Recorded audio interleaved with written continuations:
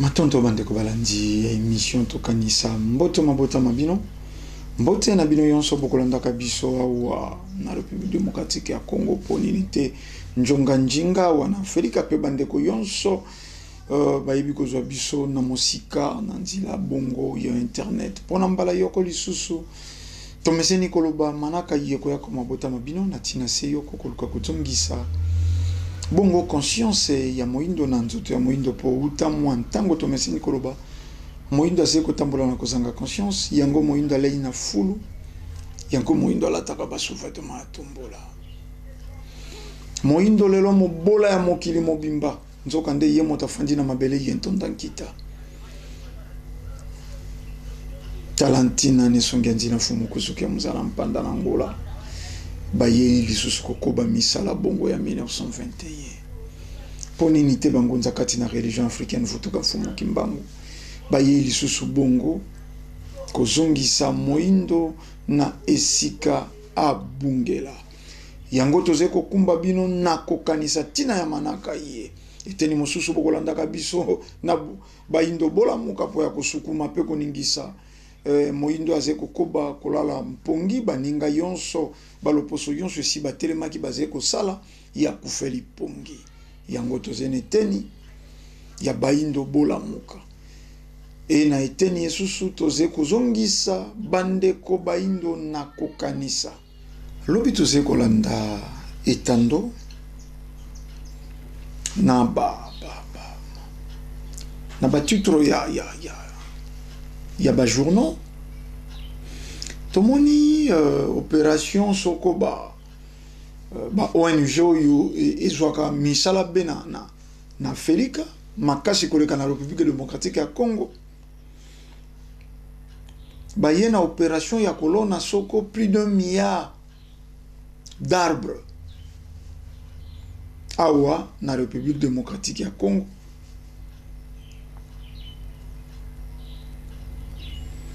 Pe bongo na bamboka mosusu ya Afrika, me mingi awa epai na biso. Ba arbre nini?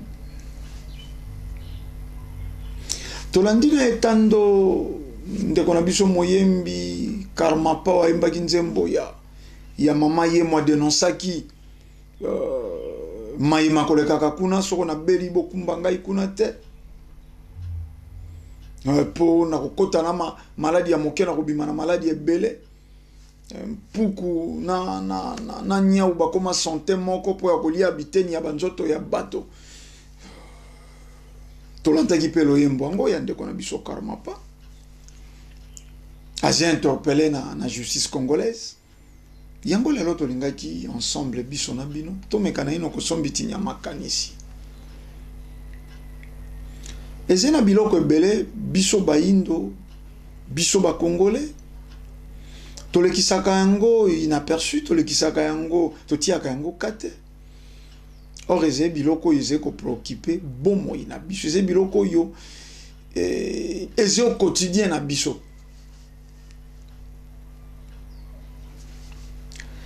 Euh, lelo batiaka biso deuxième pays le plus pauvre après Yemen. mpo balakisa pauvreté wana ya biso bazwaka bana moko boye bapanzi esala lokola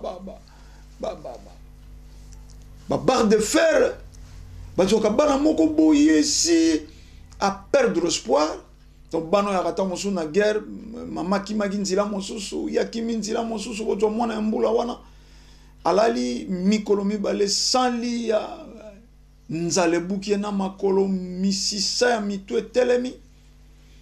po babalisa na pauvrete oyo babengeli biso deuxième pays le plus pauvre après Yemen, bakozuaka ba photos wana bakokenda na fin fond esika oyo ba, ba, babitumba ebetaki, bato bakimaki, mai ebebaki na makila ya bato, ba, baepidemie ya ndenge na ndenge ebotamaki, bazwi bato ya malade bakosala bango bafoto ba, ba, ba bakosala bango bavideo yango bakobrandir na mokili e bino bandeko ya diaspora bokotaka te na réflexion moto ya futi billet aller retour akei na équipement esoko équipage équipement matériel ebele mpo akenda kosala bavideo mpo aya korealize documentaire oyo akoleka nango na tv 5 front 24 bachaîne nyonso internationaux moto wana intere na ye ayaki nini ayoki mawa kaka ya baindo wana e apres koyoka mawa qu'est-ce qu'il a fait asalaki nini ata mosusu bolobi bon il n'était pas obligé to bazalaka obligé te ya kosala quelque chose mais baza obligé ya kokenda kozwa nde bilili wana babrandir na mokili Basalaka yango mpo ya ko humilier moindo, basalaka yango mpo ya ko renforcer esprit ya domination na bana na bango, na ba descendance na bango. balingaka balekisa na descendance na bango que jusqu'à présent moindo azali kovaloir naino eloko te aze naino inutile meme epa na, na, na, na cheville na bango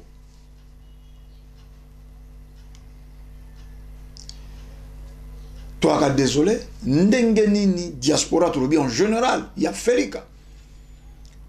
okomona bakosacharne bazwi mpe bilili wana bango mpe babandi kopanza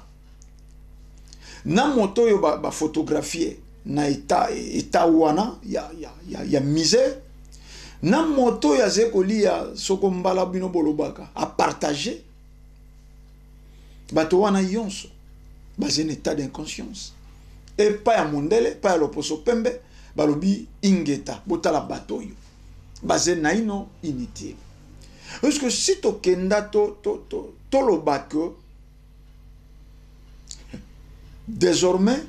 tozali na posa te bokendaka ko photographier, kosala ba ba ba documentaires epai ya ba mais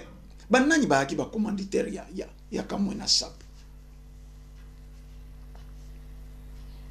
Bazwaka realite batie na se. verite batii na se bazwi lokuta batii likolo bato yonso diaspora yonso oyo bazali libanda batalaka kobeba ya mboka na bango na badirigeant na bango me soko nkasa ya nzete ekauki etape ya nzete ekauki eske okopesa Faute na etape to faut bokenda koluka ko controler source oyo ezali misisa soit misisa kutani na bibende accès ezali lisusu te soit misisa azali kolia malamu te fumier ezali lisusu te boluka botiya fumier boluka bofongola tout autour ya nzite bozwa soko eh, nkasa eh, botia na kati nzete alia lisusu azali na posa ya vitamine azwa liso mai me biso bamboka ya afrike ezali kosimba te loposo pembe susi na ye oyo ye amoni fo akumbela biso bolingo na ye oyo ye amoni ya kotemoigne epai na biso ezali koya kolonela biso plus d'un milliard ya banzete un milliard d'arbre wana ezali ya kasi Acacia mais ba ndeko balandi nayebi te bolimbisaka vraiment temps mosusu bomonaka on dirait euh, ndeko ndombele na plateau asatakaka na bahomme politique asatakaka na elite intellectuelle asatakaka na bahomme religieux mais mpo nini kaka biso nde il faut tomona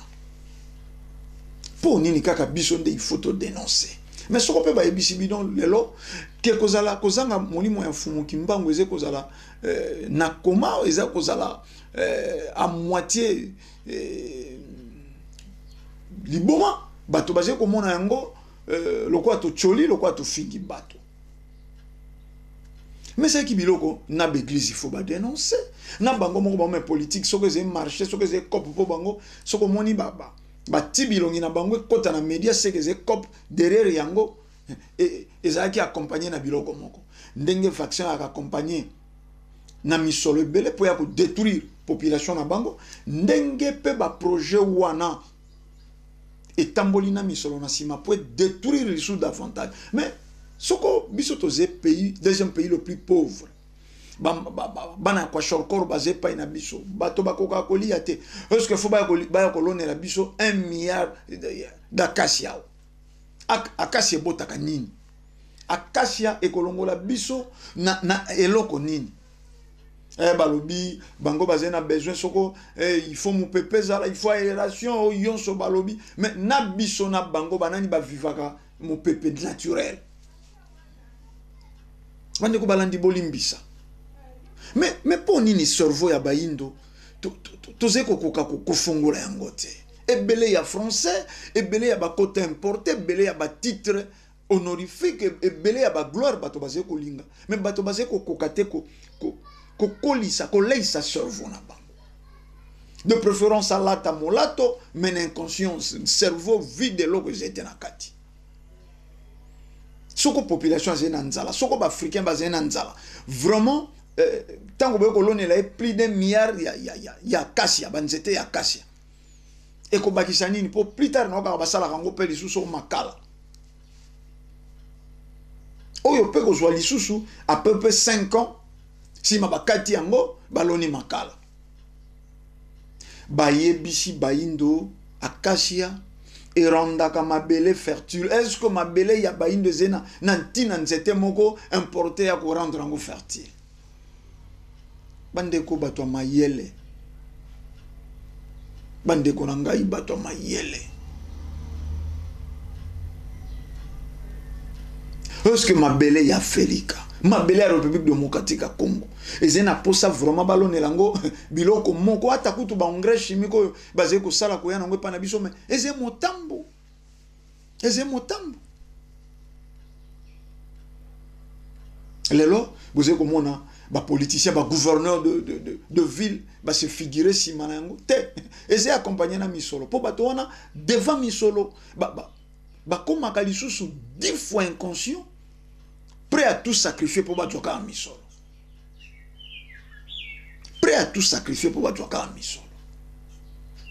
mais soko moto azali na nzala azali na mposa ya losambo te azali na mposa ya médecin te kisi na ye oyo ekobikisa ye nkombo nango bilei mpo maladi abeli ezali kaka nzala Mais boni boni bolingi bosambelela moto alobi na bino azali na nzala? Boni boni boluki bomelisa ye nkisi moto alobi na bino azali be na nzala? Yango biloko bazali koyela biso, yango biloko bazali koya nango na Afrika. Bolobi baafricain bazalaka na nzala egi, bolobi mpe baoyo nyonso banwayaka na Mediterranee kuna bakimaka nde nzala na Afrika. mais soko bino ba, ba ong soit disons ezalaka na souci ya, ya biso bayindo koleka biso moko mpo nini te boyei na baprojet bato balona biye kolongola nzala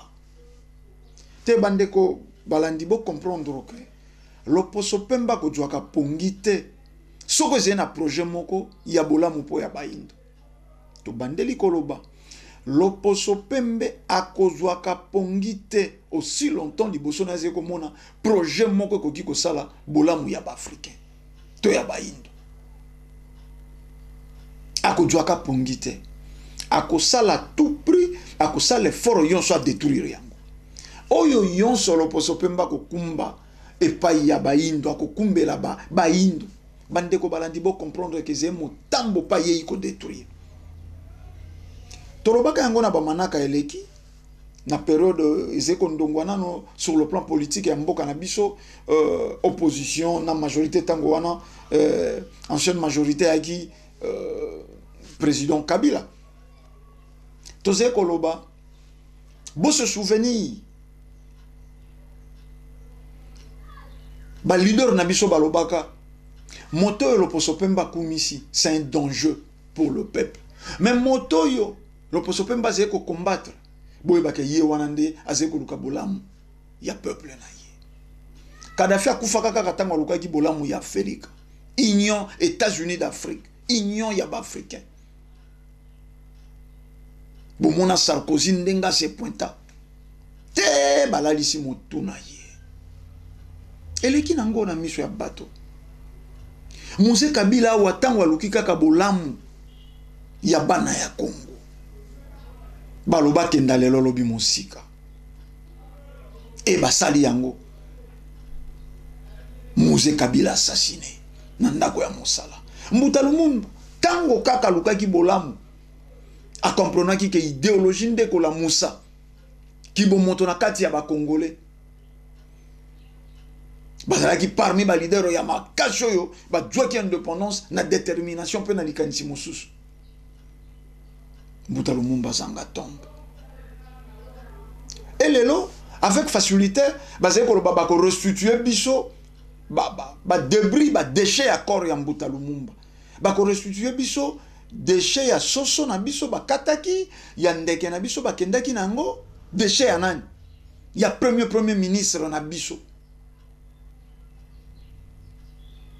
Mais nayebi te bandeko balandi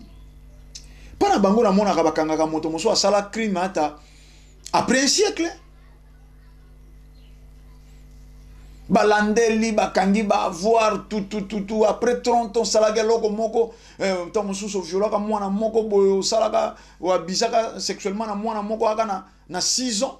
eh, te mwana wana akomi na ba 40 donc cela explique qu'après 30 ans 30 et quelques années bakoki bapoursuivre yo mpe ozi arrete bato mosusu basala bacrime baaka ba trop jeune na, na baage ya ba 20 22 ans baye kokanga bango na ba 80 ans mais mpo nini biso te crime oyo esalamaki na 60 lelo me bato wana baali naino bamboka wana eyali Tokoki ko poursuivre bango te, ba ko restituer biso.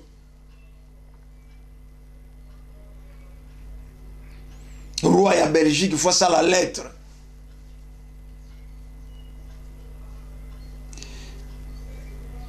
Bandeko balandi to tobima naino na distraction tobima naino na distraction so vrai banourrisaka distraction so vrai banourrisaka inconscience ndenge tomeseni koloba c'est vrai ba, ba, ba, banourisaka ba antivaleur me ntango bozali kolanda biso toyei na mokolo mosusu bato batikali na mokolo eleki te biso tolobi te baloposo ba nyonso balamuki biso na bino mpe boningana naino biso mpe tokɔta na mokolo tozala ajour ndenge balobaka na ilo poto tokota na mokolo tokoki kotikala na pongi te eleki na betando na biso encore biso tozangaka to, to na biso bainformation projet ya kasia ong kingandi wana bango wana na ba, soko bakashi ba, ba, ba ne elongwa bamaske ezonga ezonga ba elonga ba masque mpo na okaka lisusu babenga babenga yango lisusu ba masque te ah, ngai bandeko balandi bolimbisa tolobaka ntango mosusu toseka koseka ya mpasi toze bambisi tolelaka na se ya ebale Pinzoli na biso mwa emonana ekesana na maese te. Ma ndenge nini tout un peuple, ndenge nini eh, toute une génération facilement faut bazala emporter na ba antivaleur. Conscience na ngai ebike ngai nazali na nzala. Mais baloba na ngai non faut osubir perfusion. Il faut bazongisa makila. Te, te, ngai nazali na problème makila te. Nga nazali na problème ya nzala. Nkisi bokopesa nga ekobikisa nga eza bilei. Mais boni boni bayindo soko tozali na nzala. Safu pe esalaka au moins 5 ans, plus ou moins 5 ans. Avocat plus ou moins 5 ans. Mangolo plus ou moins 5 ans. On dirait pe na mbila. Biloko ekoki kolongola nzala. Manioko kutu koloba te mbula. otui pondu une année ojui manioko osali fufu basali kwanga eh, basali eh, malemba tutututu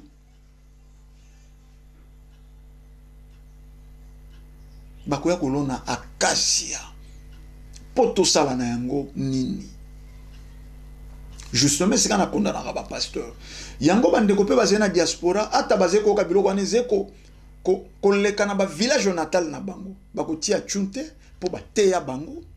ba village natal eza ba terre diabolique surtout baoyo ba, ba bazwi chance ya kozala na mikili ya poto me okoki obetela ye lisolo ya, ya village natal te c'est-à-dire baze 3 oyo facilement akoki alonga mpe mikili ya poto eh, ake na mboka na ye nayebi te nayebi te nani nayebi te ntango mosusu 3 pourcent to mpe 2 pourcent le reste mais soko kutu euh, oyo bazalaka na capital lelo balobaka bakoya te mpo yoka bakobwaka mbasu nazali kosola na ndeko moko ayebisi ngai abi ndeko ndombele me tokaka mpe kuna euh, ndeko yanga azali na belgique abi tokaka mpe kuna na, na, na, na afrique soko kiti bakobwakelo mpe bambasu omona mpo ozongi bakoto te donc ekomaka baja bambasu ngala bime ntango bolobaka biloko wana mpo boboyaka sorvo na bino esala boevitaka sorvo na bino esala toza awa plus de 90 million lelo de congolais donc tozali na 90 million de congolais na mbasu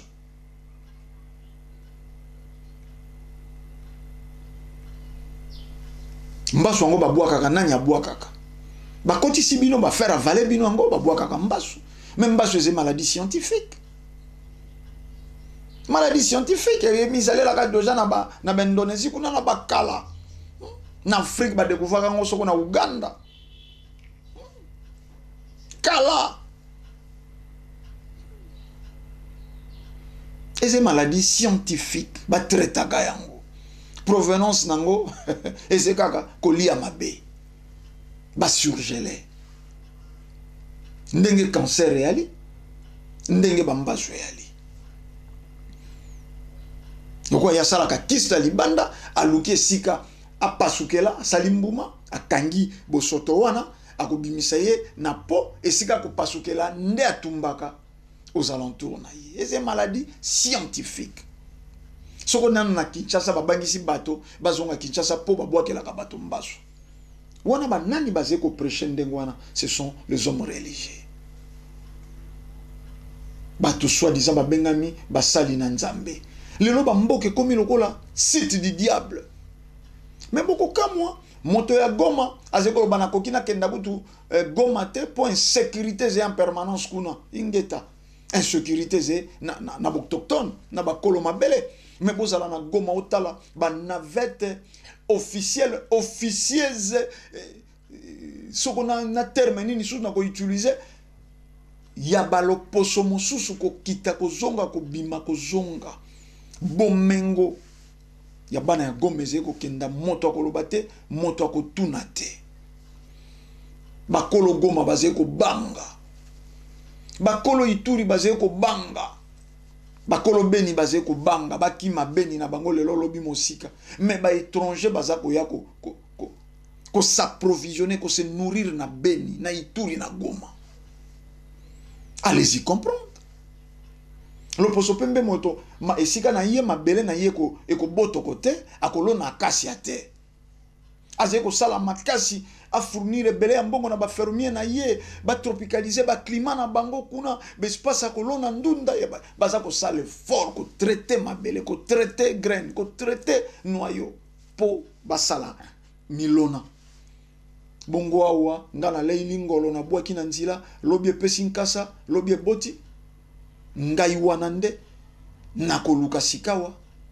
nalona nzete moko ekomisa mabele na nga fertile, epesa nga mopepe. Nga nazei na, na, ba, na bibale traverse mboka na ngai, nazei na bazamba oyo eza ekobikisa mo, mokili bandeko balandi me nayebi te ntango ofandi olandi ndeko ndombele olandaka ndeko ndombele decision na yo decision na yo otikali kaka moto ya kobanga lola eh, moto ya kobanga lifelo otikali kaka moto ya, ya kozela enlèvement bakoenleve okenda wapi nani azala enleve eli akufa ata mata bango moko balobi la chair n'hériteront point le royaume de cieux amata kuna kolia nini nzoto ya mosuni esokolaka esalaka zongo elukaka bilei bilei ya mosuni ye kuna aliaka nini loi ya pesantere yango emonaka ye te mpo loi wana eza principe ya nzambe ata papier obwaki likolo fo esibi pression atmospherique ebongo sikawa te ntango tozali koraisonne na bible ozwi cerveau na yo olongoli ozwi eh, bible genèse ete apocalypse ograve na cerveau yango wana lelo tozali baobservateur ya mokili tata kelili kona se apesaki biso yango tozali baobservateur ya mokili bato nyonso epai na bango bazali baacteur bazali koparticipe na evolution ya mokili me yo moyindo croisa maboko oyo ezangi ntina yango oyo olandaka me tokokaki koboya yango bosala baprojet na bavillage natal e, ekokute bino eloko te ekokute bino eloko te moyene zero terrain na village natal na yo yoze moto natif soko ya, ya, ya, ya kisangani ya bunia ya, ya, ya, ya, ya congo central na makungulengi na mayombe na, na, na, na, na nyoki partout me loba na bango nazali na posa ya un hectare natia 100 nzete ya avoka Et plus grave esika boze na mikili ya poto eze nango kobeba se kobeba eze ko se degrader eh, botala na, na miso ya, ya, ya, ya, ya, ya, ya, ya baba te esukela bino na kati te te Bo comprendre que situation ezali ko s'aggraver. Mais yango ntango tolobaka moindo azali kosubir même sort moindo azali kosubir même sort aza inconscient partout ata afandi na mabele ya baconscient ya demeure inconscient a demeure inconscient moyindo na felika ayebi te asalaka nini ayebi te aloba nini ayebi te avivaka mpo nini moyindo na mikili ya poto ayebi te asalaka nini ayebi te avivaka mpo nini la preuve en est lelo na biro ya chef de l'etat Entourage ya chef de l'etat c'est la diaspora. C'est la diaspora. Eh, mais nayebi te baya koloba nini. Nayebi te baya koloba nini. Oui, mpo moyindo ayaka te mpo asala. Ayaka pour les intérêts égoïstes. Ayaka mpo ayiba, ayaka mpo abebisa, ayaka mpo adepouiller. tozonga na bonfumu kimbangu tozonga na bonfumu kimbangu nde sika tokozwa conscience mpo nga na, na trouvaka yango très mal so nazali kolanda etando na biso ndenge bakumisaka bolamu ya loposo pembe Au fond na bango bayebi ke ezali bongo te. Bayebisaka bato balandaka bango na etando. Bayebisaka population tozali kozwa ba aide. Est-ce que bayebisaka population ke ezali ba niongo? Oyo ekosala ke totikala na, na to demeurer na etat ya, ya, ya, ya pauvrete.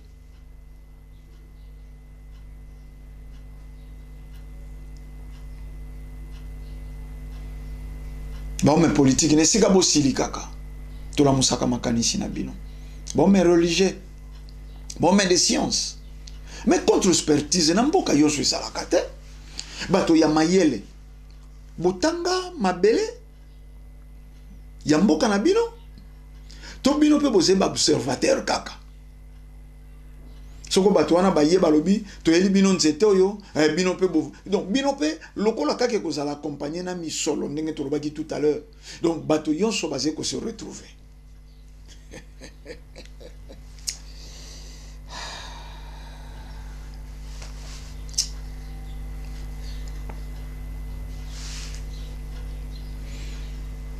bandeko balandi totelema moyindo nde akodefendre mabele na ye bayindo nde bakodefendre mabele na bango bino mpe boze na me mpo nini bino boze koconstitue te babloke bacommunauté sangana boya ko intercaler biloko oyo boya kosala ba projet vrai boya kosala ba projet oyo eko nourrir mboka boya kosala ba projet oyo ekotombolo mboka baza koya ko détruire mabele na biso eza lokola moto moko bapesi yo eh, eh soko poussière moko balobi ntango kolamba biloko ya, ya, ya bana na yo tia yango na kati moboti wana adui santuna eze poussière ya nini soko natia yango ekosala nini na bilei ya bana na ngai mpo nini mpe yo tia yango na bana na yo te oyo akopesa ngai natia na bana na ngai te moyinda jwaka plus grave euti na mwana maria loboko ya pembe modèle akozwa ki atii mpe bana aperdre mpe bana yonso yango eloko tozali kosala lelo yango eloko toza partout na congo central ekoti na, na, na, na bandundu configuration yango ya kala mobimba ekoti eh, na équateur kuna mpe toyebi lokola eza projet ya miya ya banzete seke ekokota partout oyo mabele eza fertile est ce que kaka bato ya religion africaine nde fo bayeba motambo ya loposo pembe me lelo eza esu ya kobomba te tout le monde le sait ke loposo pembe alukaka extermination ya, ya race noire ye moto atiaka manjoli njonjo na, na bamboka yonso ya afrika ye moto atekaka mandoki azali kosala vaccin na ye ye moto azali koluka kodetruire afrike soki asalaka vaccin oyo ekoboma bato aye na yango epa na yo akomemela banzete oyo ekosala bolamu na yo vraiment bandeko balandi biso toyaka kaka kosone alarme toyaka kaka kosukuma bato bayindo bolamuka bandeko bayindo tokanisa yango nde biso toyelaka ata bakosilika ata bakokana ata bakokana toyaka na mokili mpo toloba bosembo ya tata akeli likolo na se toze wana te mpo ya leadership toze wana te mpo ya kose faire voir toze wana te mpo ya komonisa elongi na mwindo boye na komonisa elongi yango ndenge tobotamaki mpo tobunda etumba lobiko ya loposo moindo quelque soit oyo ekokuta biso liboso quelque soit oyo ekozila biso liboso mpo ya biso l'essentiel ke tolobaki oyo tata akeli likolo na sa kitisaki na nzela mfumu kimbangu mpe lelo bazali kokitisa na nzela nesongi ya nzila mfumu kuzuki ya mzala mpanda na ngola mokobi misala ya 1921 yango biso tokotalisa na bino soko tozwi na se tokoamplifie mpo eveille e, e lisusu davantage bayindo bisika yonso bazwami tolandi awa mpo ya kokenda na koshite na masolo na biso ya mokolo mwa lelo tolandi awa ndenge tolobaki na, na, na, na motu Ya manaka tango to bandi ba interpelle karmapa eza eza eza penza ba sujet na biso te mais ba biloko mosusu esalaka pasi tango tolobi bome politique boze ko sala po ya interet ya occident Bo detruisaka ba mboka na bino mpo na bolamu ya bato mosusu. Ndenge nini medecin akoki accepter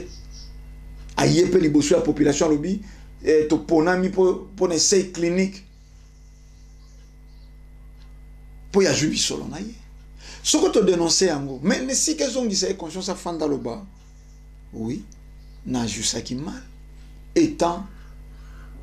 euh, patriote étant mwana mboka nakokaki jamais kotrahir mboka na ngai baya kosala eloko moko ya mabe mpo na intérêt na ngai égoïste nakolia mbongo wana nga moko même pas un siècle mpo bakovivre mpe un siècle te mais ntango mosusu mpona détruire bamillion d'âme kilo wana otiki nini na, na, na, na. na nsima na yo na bagénération ekokita na yo te ndeko karmapa adenonse biloko adenonse bambeba ba, ba Maye bato bakomonaka me bakokaka koloba te. Asaleli role ya, ya, ya, ya, ya, ya musicien babi bazali baéducateur de masse bakumbaka eturuku ya bato na nsima na bango yango basalaka baplein na baconcert yango basalaka bazwaka badisque d'or mpo bato ebele bayoki bango basombi bango me ntango adenonse eloko ya moni ezali kotungisa azali fils du pays Mwana ya mboka ye azwa traitement kuna to te azali na droit ya koloba médecin soko médecin directeur ya, ya, ya, ya, ya mama ye mwakofunda ye po nini te me naza koyoka mpe bato mosusu ya diaspora wi akokaki koloba ndenge wana te falaki aloba ndenge nini falaki aloba ndenge nini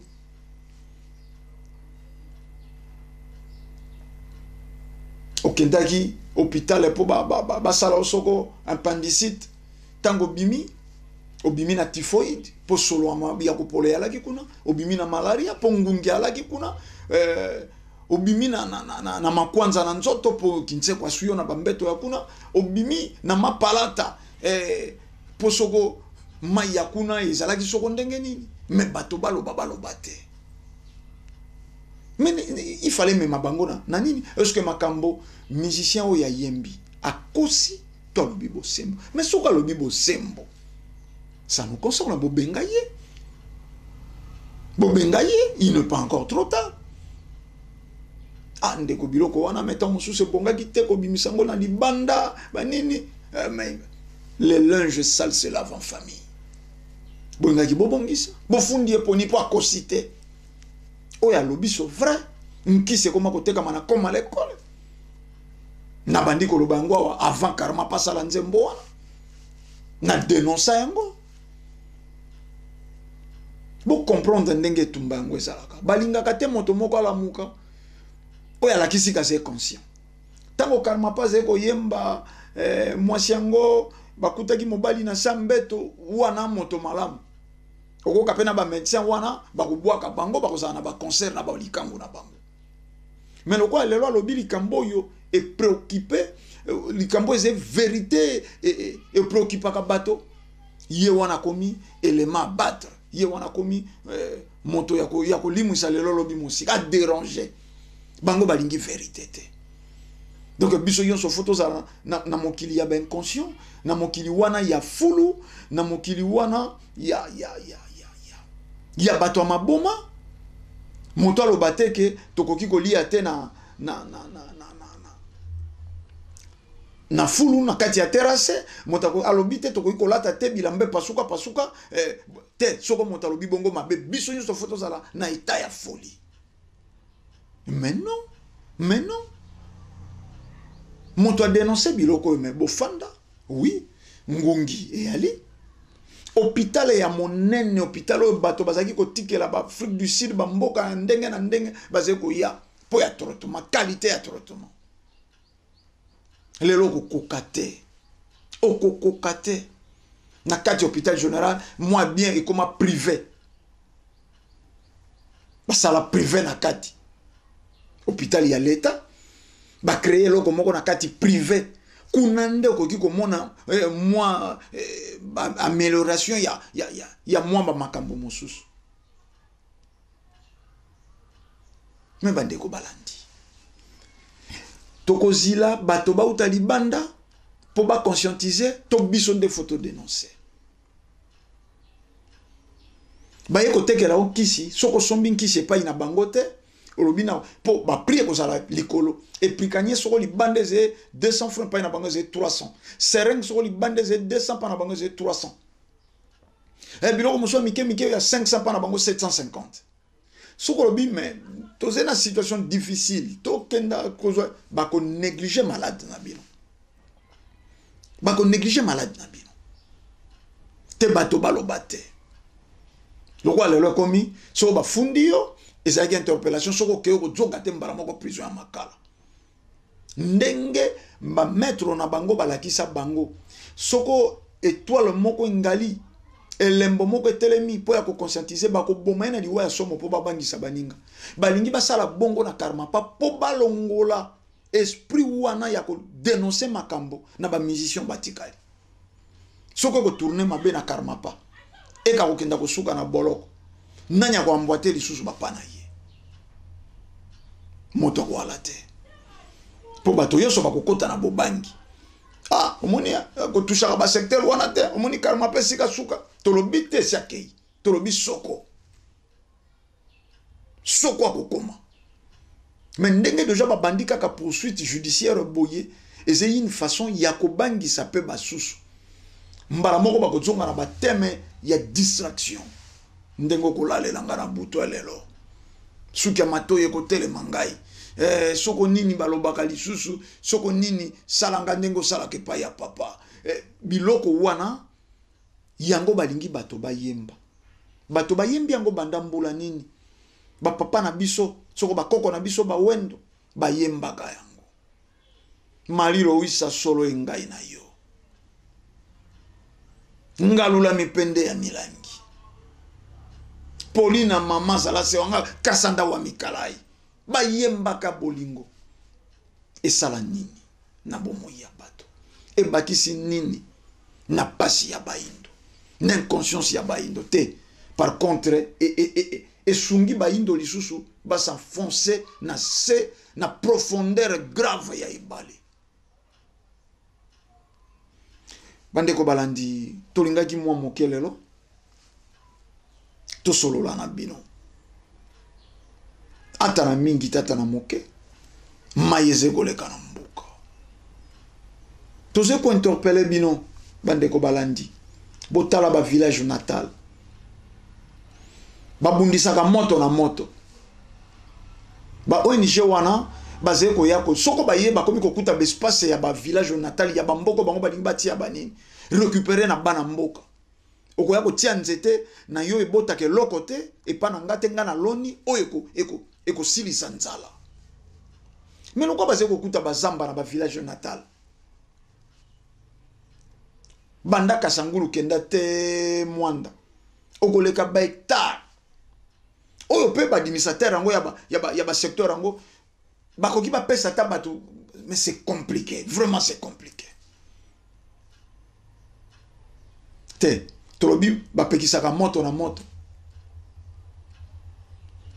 soko moto eza koya bapelisaka moto mosusu mpo estope moto eza koya na vitesse bato bayebi sekele ya zamba soko bapelisaki moto na zamba bamoni yango ezali koya mbangu na kobanga ekoma na mboka bakelaka lisusu moto mosusu